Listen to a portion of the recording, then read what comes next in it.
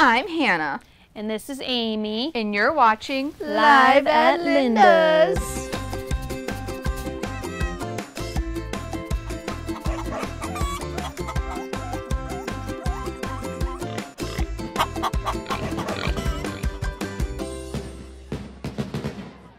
Hey, it's Hannah, um, a health tech at the Linda Kelly Animal Shelter. This is Polly, not so pocket. um, Get it? Because she's a big dog. she is big, but she is a good gal. Polly Pocket is what we call a golden girl. She is 11 years young, and she's just, she's a sweet bee. Um, if you see on our Facebook, what do we call her? A fruit bat? Uh, yes. Yeah, we started calling her a fruit bat because of them ears and those eyes. She just looks like a little fruit bat girl. She's a chill dog who just wants to be your world. She went into foster at one point, and the fosters couldn't say enough good about her. Um, she did go into another foster after that, and they had dogs, and she didn't do so great with the dogs. She's a little bit of a she wants all of your attention kind of gal.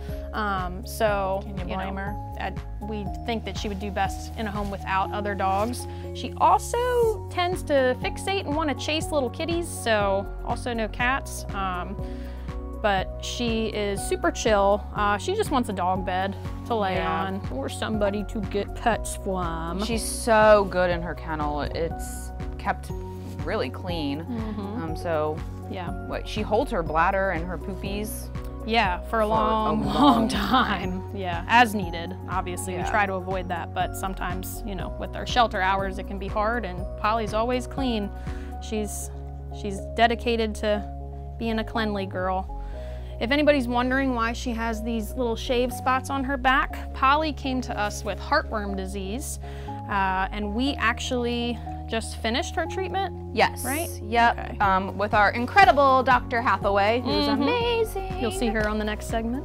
Um, we were able to do her heartworm treatment for her, and I mean, that's it. That's all And that was something I think too. When we first put her up for adoption, she had just like a $500 scholarship towards the heartworm treatment. But we realized that that was kind of hard to get somebody to adopt an older dog that doesn't want to go with dogs, that doesn't want to go with cats, and has heartworm disease. Um, so we went ahead and uh, took care of the treatment. So she should DIY. when would they want to recheck a heartworm test? Isn't it like six months after Yeah. treatment?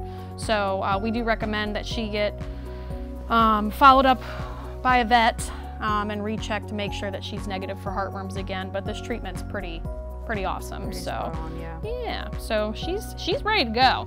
She is ready to go. She's a good girl. She just wants to crawl up, curl up with somebody, and watch TV. Perfect for the She's winter time. Pretty agile too. I mean, she jumped in our Durango like it was nothing. So even though she's 11, she's she got spunk.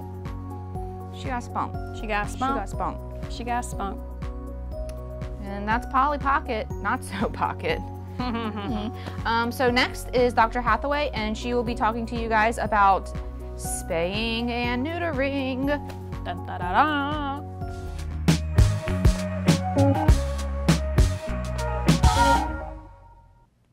Today, I'm going to talk about the importance of spaying and neutering your pets. In a nutshell, spay neuter refers to the process of surgically removing the gonads to prevent reproduction. In females, the ovaries and part of the uterus are removed. In some cases, only the ovaries are removed. In males, the testicles are removed. By having your pet spayed or neutered, your pet is getting much more than just preventing an unexpected litter. Females spayed before their first heat have virtually zero risk of developing mammary cancer in the future.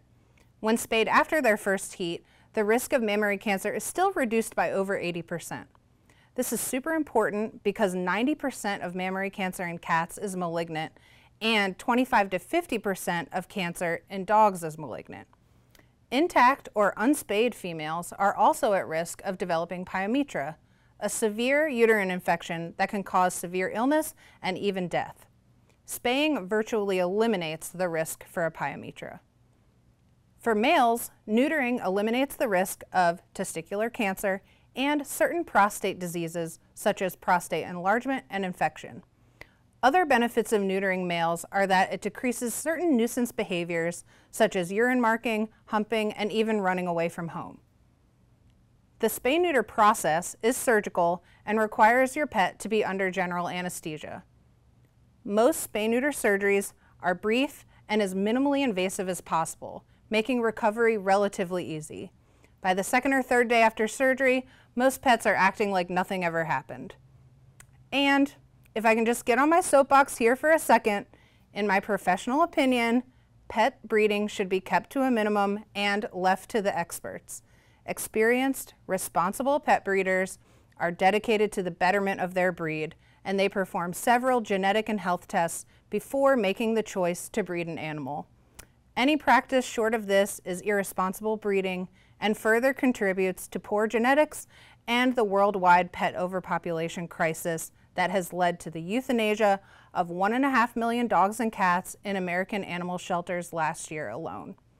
That's why, thanks to a grant from the Maryland Department of Agriculture, the Linda L. Kelly Animal Shelter offers free spay and neuter services to Calvert County residents that meet certain residency and income requirements. Contact us at 410 535 7387 to learn more and schedule your pet for free surgery.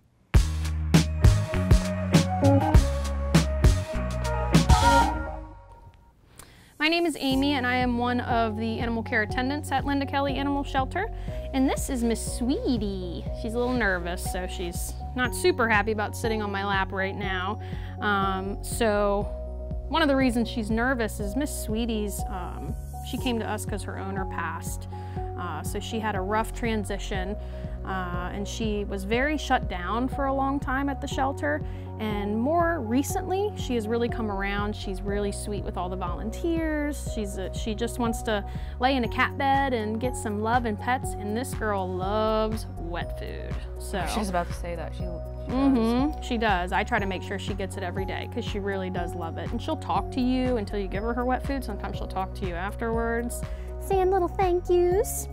Um, so I think Miss Sweetie, she's 13. So she is an older gal. She's another, golden girl. Yes. Stop reading my mind. Sorry, I'm sorry, I'm sorry. Best friends. Oh, you wanna go in, baby? So I'm gonna let her back in her cage because she's nervous. You can put a cute bandana on her.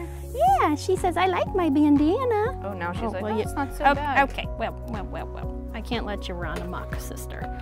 So, but, whew, she's fuzzy. Uh, and she does love being brushed too. The volunteers um, say that she enjoys being brushed.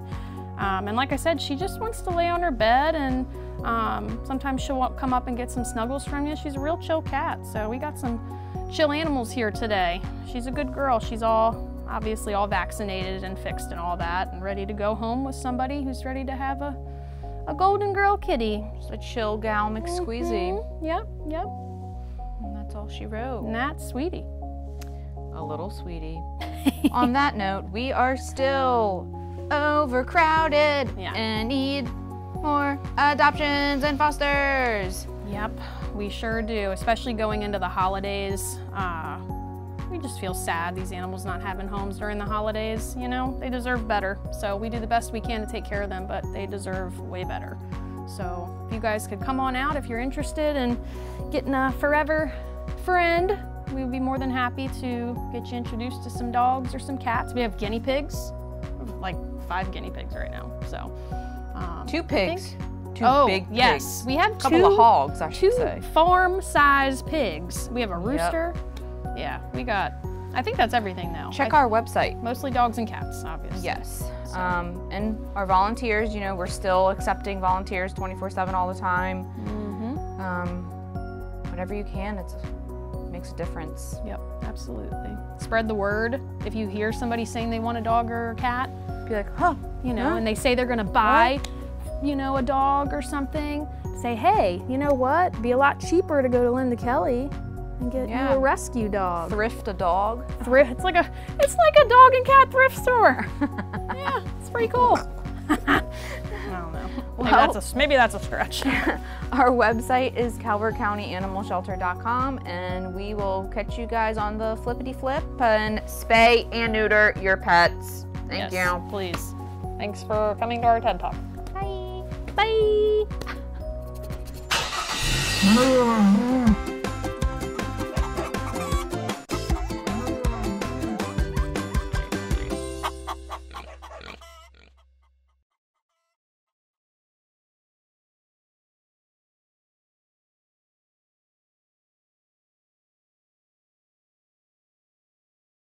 Ooh.